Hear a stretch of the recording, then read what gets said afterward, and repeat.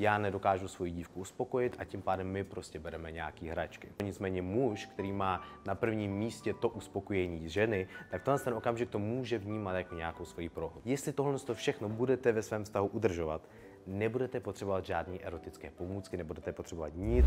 Dámy a pánové, vítám vás u dalšího videa. Dnešní video vzniká na základě vašeho dotazu. Už to tak je, že eh, celkově tento kanál patří, už dá se říct, nebo je ve vašich rukou.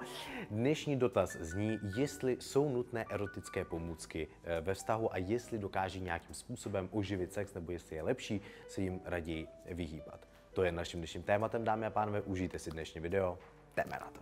Dámy a pánové, budu rád, když toto video podpoříte lajkem, kliknete na odběr, kliknete na zvoneček, aby vám neuniklo žádný další video a budu rád, když mě dolů do komentářů podpoříte alespoň dvěmi komentáři. Každopádně pojďme se podívat na celkovou tu tématiku, kterou jsme dneska zvolili. Erotické pomůcky. Já upřímně, když se budu bavit eh, o tom ze strany mužů, eh, moc tohle ve vztahu eh, nepotřebuju, nemusím, protože v tenhle ten moment nastává takový okamžik pro mužské ego, tisíckrát otevíraný téma. Eh, v tento okamžik nastává problém s mužským ego. I když jsou tady samozřejmě eh, typy mužů, kterým to bude úplně jedno, nicméně muž, který má na prvním místě to uspokojení ženy, tak tenhle ten okamžik to může vnímat jako nějakou svoji prohru. Já nedokážu svoji dívku uspokojit a tím pádem my prostě bereme nějaký hračky.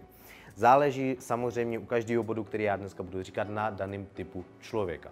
Protože jsou lidi, kterým to nevadí. Jsou lidi, kteří řeknou, že jim to oživuje vztah. Nicméně, když se bavíme o vztahu, kde muž má na prvním místě ženu, ten ten okamžik on to může brát jako jistý úder po vlastně svým sebevědomí. Jestli eh, na otázku odpovědět, zdali to dokáže oživit eh, nějakým způsobem vztah, skutečně asi jistým způsobem to něco nového do vašeho vztahu může přinést. Faktem je, že ale tyhle ty věci vy do svého vztahu nebo něco nového ve svém vztahu budete hledat v okamžiku, kdy nejenom nebudete žádným způsobem experimentovat, ale když nebudete zapomínat, že flirt, sebevědomí, ta hra na to balení, ta hra na svádění z mužské strany, že předehra pro ženy je důležitá, eh, ze strany žen, že pro muže je extrémně důležité cítit od vás eh, to, že jsou vámi žádaní. Jestli tohle všechno budete ve svém vztahu udržovat, nebudete potřebovat žádné erotické pomůcky, nebudete potřebovat nic, co by nějakým způsobem vám vztah oživovalo, protože vy vlastně ten vztah budete non-stop držet na nějaké takové té vlně toho, že mm, na ty vlně vzrušení, řekněme. Není to jenom o tom, dámy a pánové, že pořád experimentujete a zkoušíte buhy jaký polohy nebo kupujete buhy jaký hračky. Čili když se na to podíváme z hlediska toho samotného vztahu, nemyslím si, že tam jsou nutné.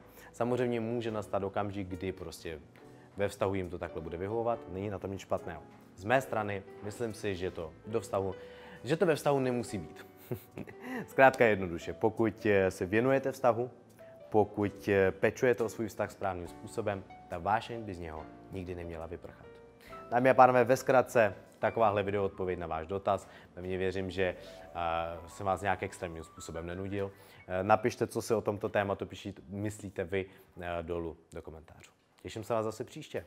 Pište svoje dotazy na e-mail a na direct, a, nebo do direktu a já budu se snažit na ně vždycky takhle tímhle způsobem odpovědět.